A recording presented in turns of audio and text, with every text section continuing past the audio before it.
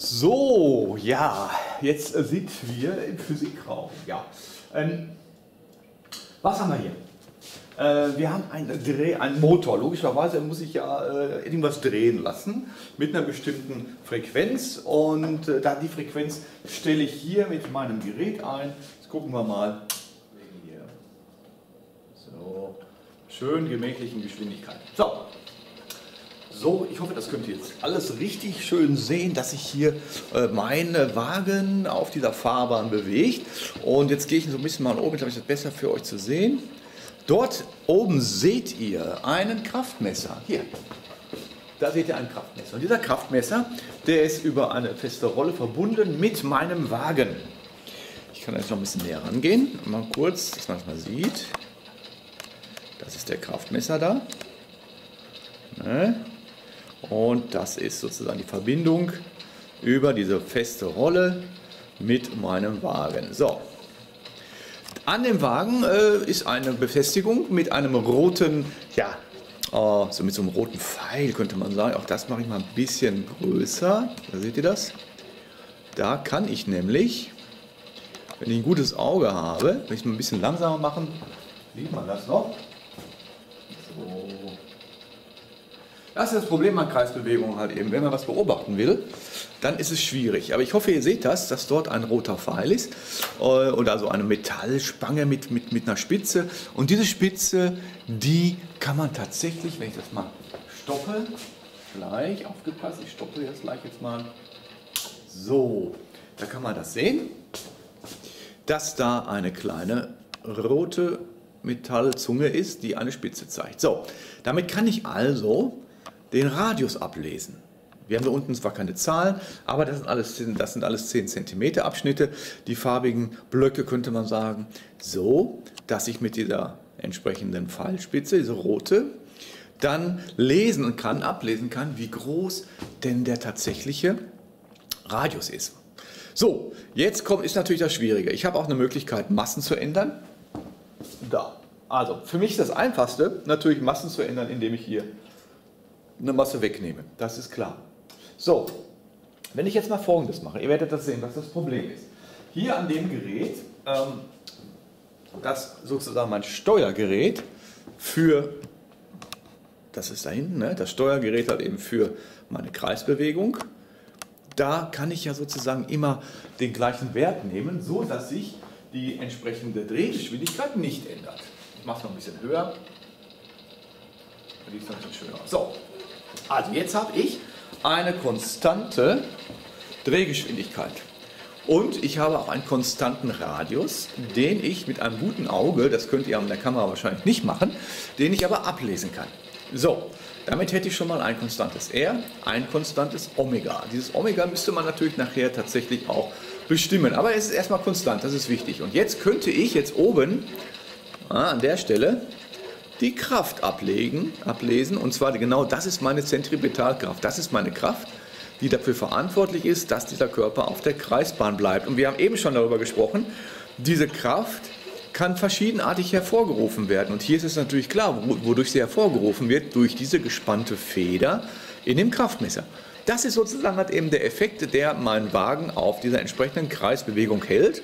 Und dieser Kraftmesser hat äh, zugleich den Vorteil, ich kann durch diese Auslenkung ähm, der Feder auch gleichzeitig ablesen, wie groß die Kraft ist, die die Feder hier ausüben muss. Ja? So, jetzt kommt da das, das, das eigentlich Gemeine an der ganzen Geschichte. Ja? Wenn ich jetzt einfach mal Stopp mache, wenn ich jetzt Stopp mache, so, jetzt sage ich mir einfach, alles klar, jetzt packe ich noch einfach noch eine Masse mehr drauf. Und jetzt lasse ich wieder meine konstante Drehgeschwindigkeit laufen. So, was habe ich für ein Problem bekommen? Nun, vielleicht könnt ihr es sehen, der Radius hat sich vergrößert. Das darf ich ja nicht. Ich habe ja zwar eine äh, konstante Drehbeschleunigung, habe die Masse variiert, leider ist dabei auch der Radius vergrößert worden. Tja, was machen wir jetzt? Jetzt haben wir tatsächlich halt eben zwei Größen, die sich geändert haben, und zwar Masse und Radius. Und dafür gibt es einen Trick. Der Trick ist so, dass ich,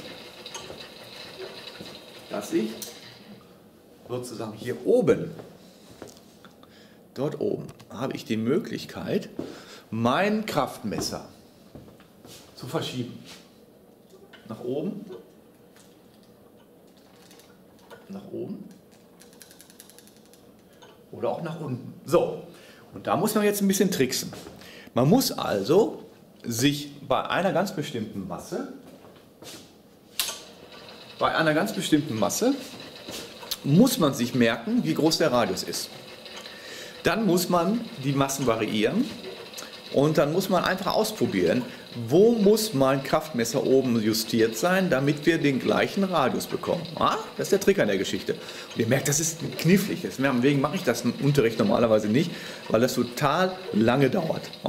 Wir müssen also immer gucken, dass wir bei unterschiedlichen Massen oben den Kraftmesser so weit verschieben, dass der Radius unten gleich bleibt. Ich habe das gemacht die Werte kriegt ihr auch. Das machen wir jetzt nicht zusammen. So, das wäre jetzt der Trick äh, oder die Möglichkeit, die Massenabhängigkeit zu überprüfen. So, jetzt gucken wir mal. So, jetzt wollen wir bei gleicher Masse bei gleicher Masse schauen, wie sich der Radius entsprechend dann eben auf die Kreis auf die Kraft ausübt. So, das heißt, das ist relativ einfach. Wenn ich jetzt hier laufen lasse, wenn ich jetzt hier laufen lasse, habe ich ja gleiche Massen. Ich habe gleiche Drehgeschwindigkeiten und ich kann jetzt die Kraft zum Beispiel für diesen Radius, der mir angezeigt wird, angeben. Ne? So, wenn ich jetzt die, die Variation des Radius mache, ist das vollkommen klar, dann drehe ich einfach oder schiebe ich mein Kraftmesser nach unten, lasse alles sonst gleich, Massen, und Drehgeschwindigkeit, messe jetzt den Radius und lese die Kraft ab. Ne? Ich habe jetzt den Radius geändert, alles andere ist gleich geblieben und jetzt kann ich die Kraft ablesen. Ne? So, das ist das Einfachste. Ne?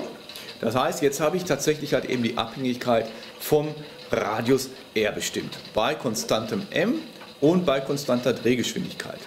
So, jetzt wird es ein bisschen kniffliger. Ich mache es wieder aus. So, Jetzt muss man ein bisschen, wieder ein bisschen tricksen. Jetzt will ich zeigen, äh, wie, wie ist die Kraftabhängigkeit von der Drehgeschwindigkeit. Wir müssen aber die Masse und den entsprechenden, äh, den entsprechenden Radius konstant halten. Und da habe ich mir einen Trick überlegt. Und zwar mache ich folgendes. Ich merke mir einen ganz bestimmten ich merke mir einen ganz bestimmten Radius. So, und zwar sage ich jetzt mal einfach mal Radius den ich haben will, der ist hier an dem grünen Strich. Könnt ihr das sehen? Da ist ein grüner Strich. Ich zeige das mal eben. Da seht ihr den grünen Strich.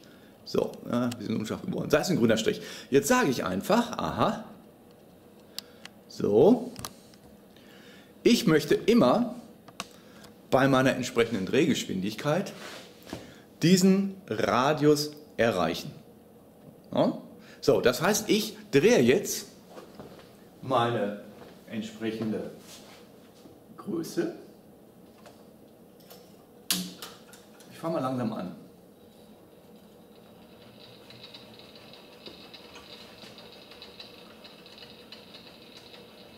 So, ihr seht, er hat diesen entsprechenden grünen Strich noch nicht erreicht. Jetzt kann ich das so lange, meine Drehgeschwindigkeit, so lange erhöhen, bis ich das Gefühl habe, yo, jetzt ist er am Grundstrich. So, was ich jetzt mache, jetzt habe ich einen Radius, den ich festgelegt habe, eine Masse, die ich festgelegt habe und jetzt lese ich die Kraft oben ab und zähle die Umdrehungen. Eins, zwei, drei, vier, fünf, sechs. Nehme die Zeit davon und bekomme so meine Umdrehungsdauer und berechne mir damit Omega. So, jetzt will ich aber ein unterschiedliches Omega haben.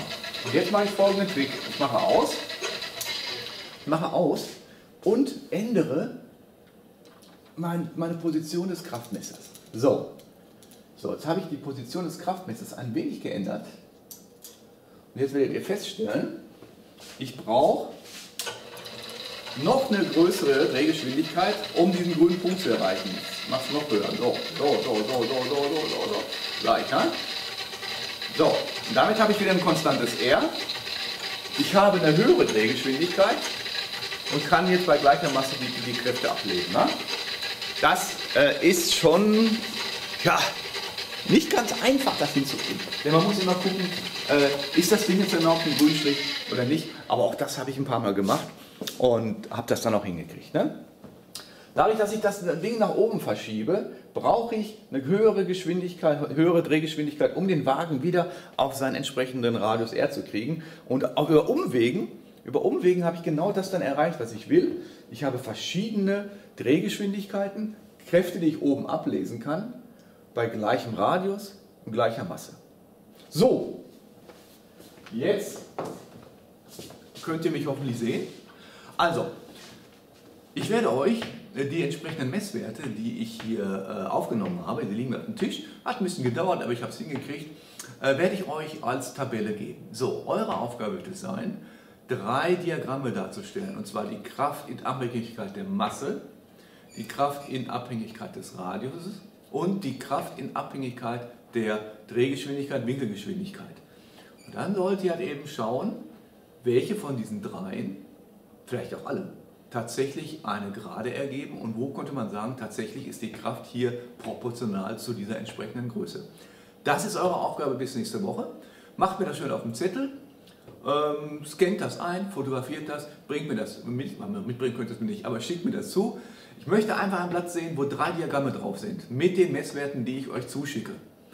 Und ihr braucht noch gar nicht so, oder ihr könnt vielleicht dazu, doch, ihr schreibt dazu, proportional ja, nein.